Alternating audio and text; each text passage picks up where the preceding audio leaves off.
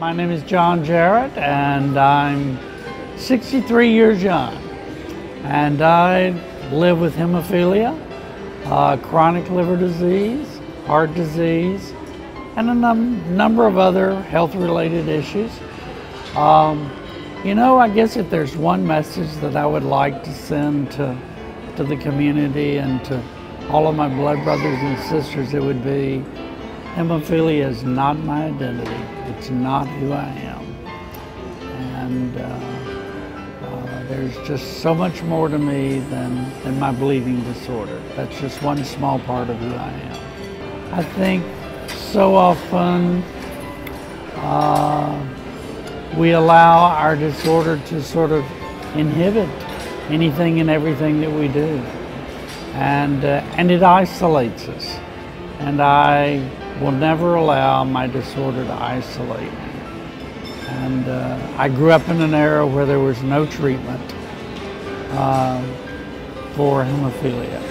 My mother and father uh, and I were were in the office with the hematologist.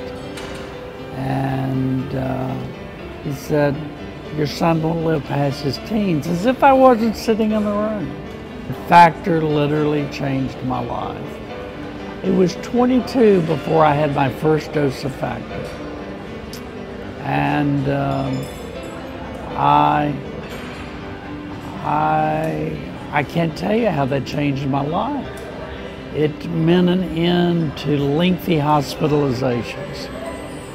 So it took a couple of years before people started giving us that independence and freedom that I had wanted all my life. And I learned to infuse. And how wonderful it is that I can get up at any hour of the day or night and go to the refrigerator and infuse myself. I credit my positive attitude really from uh, being inspired by my parents. At a very early age, they taught me that uh, I need to become as educated and as informed about my bleeding disorder as I possibly could.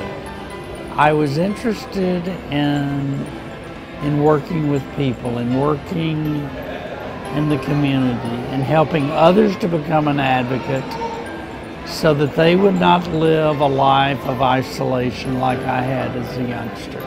I would tell any young person to uh, follow your bliss, follow your dream, be your own person. Don't allow hemophilia, do not allow your bleeding disorder to become your identity. It is not who you are. It's always been important for me to live in the moment. And I am grateful for every day. Uh, you know, I'm 63 years young. I'm not supposed to be here. And I am just grateful for life itself.